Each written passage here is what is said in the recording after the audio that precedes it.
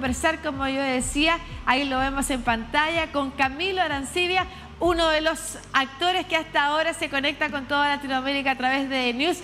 Primero para felicitar a través tuyo a todo el equipo de los colonos. ¿Cómo te encuentras? ¿Cómo se encuentra el equipo tras esta noticia? Hola, muy buenos días. Disculpen, eh, muchas gracias por la invitación. Estoy muy contento de estar acá.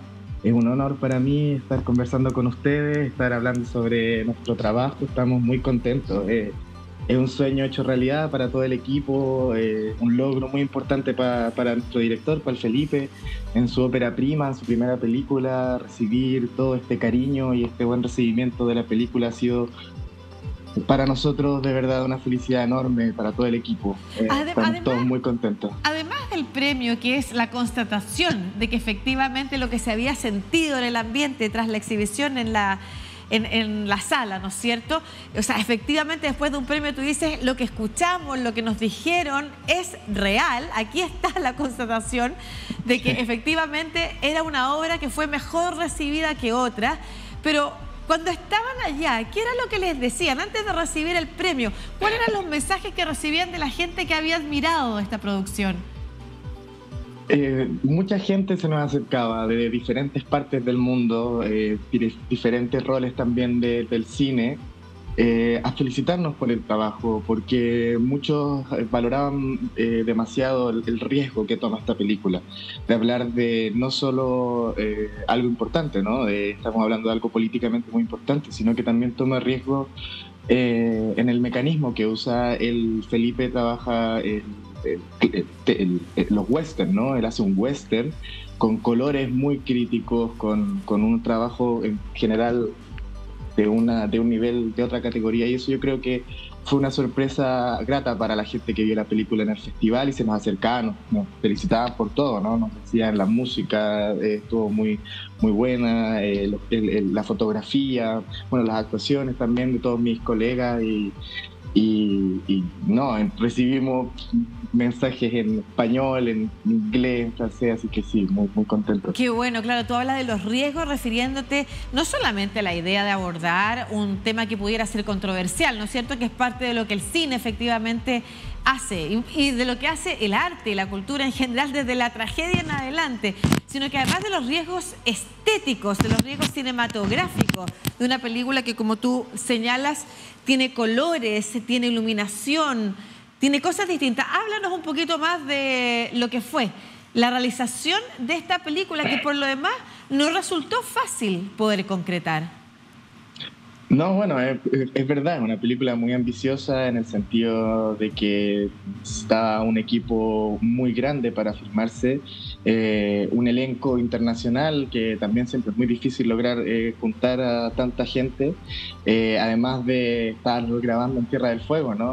un lugar también como que puede ser muy, muy muy difícil, ¿no? Frío, eh, eh, frío, exactamente. Eh, teníamos que ir al set en unos camiones como de destacar, más o menos, que, que, para lugares inhóspitos y 40 minutos de viaje hacia el set y, bueno, estábamos medio abandonados en el mundo, pero pudimos, tuvimos la oportunidad de conocer lugares hermosos. yo creo que en mi vida no habría podido conocer si no hubiera sido por esto.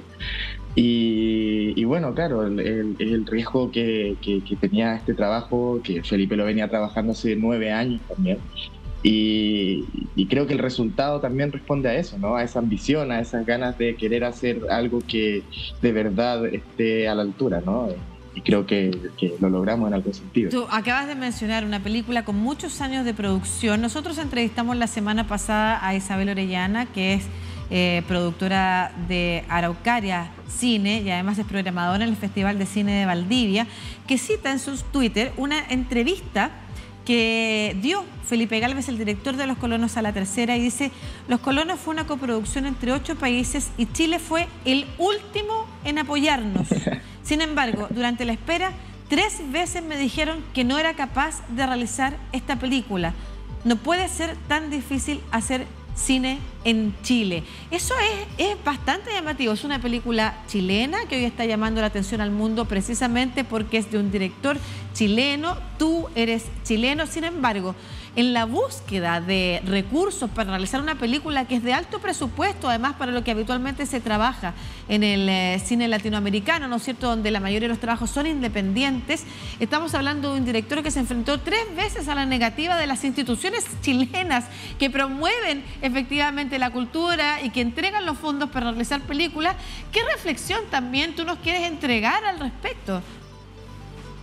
Bueno, eh, ese es un gran problema ¿no? que tenemos acá en Chile, una de las carencias culturales que tenemos en cuanto al, apoyo y al aporte que existe para, para, el arte, que cada vez está haciendo menos. es un, es un riesgo que tomamos como cultura, como, como, como sociedad, ¿no? de abandonar un poco esta esta, este, el arte, ¿no? Estamos abandonando un poco el arte y creo que para nosotros eh, que trabajamos en, en, este, en este rubro, en esta, en esta área, es muy difícil conseguir eh, el, el, apoyo. Eh, yo personalmente, como alguien que está recién partiendo también en este, este camino, creo que recién estoy entendiendo lo, lo difícil que es, ¿no? Existe también mucha eh, eh, ponte tú los fondar, ¿no? Que, que, se basan en, postulaciones por competencia, ¿no? O sea, si mi proyecto es mejor que el tuyo, entonces me adjudico la plata, ¿no? Y así eso al final termina, eh, termina siendo negativo para nosotros, creo yo. Em, creo que Felipe eh, fue, fue muy valiente en luchar, fue muy valiente en pelear por este, por este, por este trabajo. Eh, eso se lo, yo creo que se lo agradecemos todos los que estamos siendo parte de esta película. Eh, no abandonar, ¿no? que no abandonó en ningún momento, seguramente pasó por momentos eh, más, más, malos, exacto, los que de, que de, renuncia probablemente también claro, en quizá las frustraciones que trae esto, ¿no? El trabajo de este trabajo también trae muchas frustraciones, de rechazo.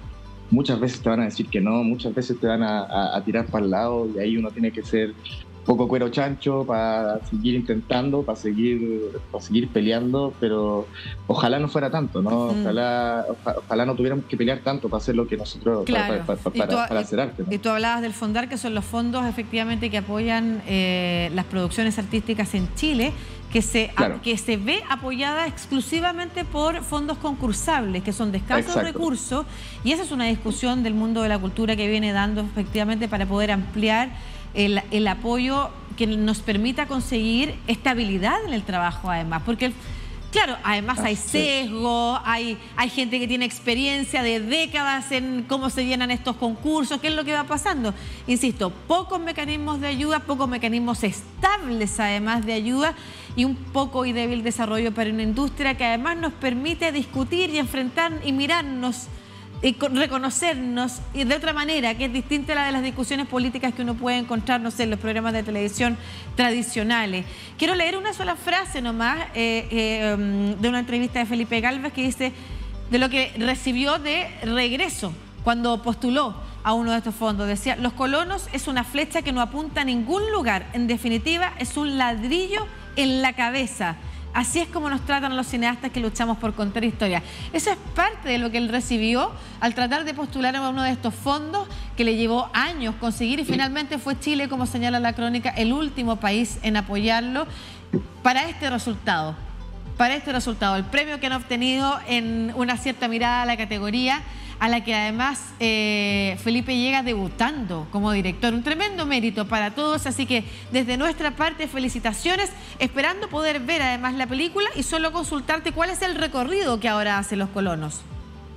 Bueno, ahora tenemos expectativa de que siga viajando, ¿no? De que siga, tiene su, su, su, que vuele por sí sola. bueno, seguramente Felipe también la, va a acompañar, ¿no? Durante, durante, durante su camino pero queremos que, que, esté en la mayoría de lugares del mundo. Sabemos que va a estar en Chile, sabemos que va a estar en, en, Francia. ¿Hay eh, otro festival confirmado?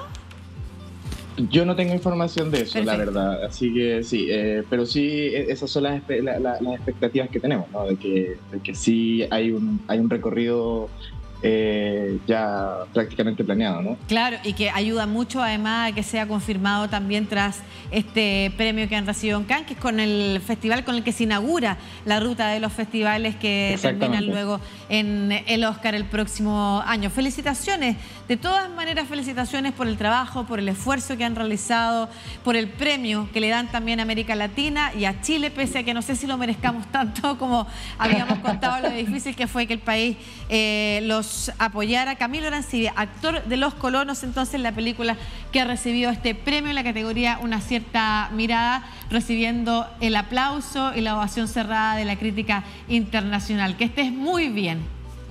Muchas gracias, muchas gracias por la invitación. Muchas gracias a ti por estar conectado a esta hora con toda Latinoamérica a través de DNU. Felicitaciones por lo vivido.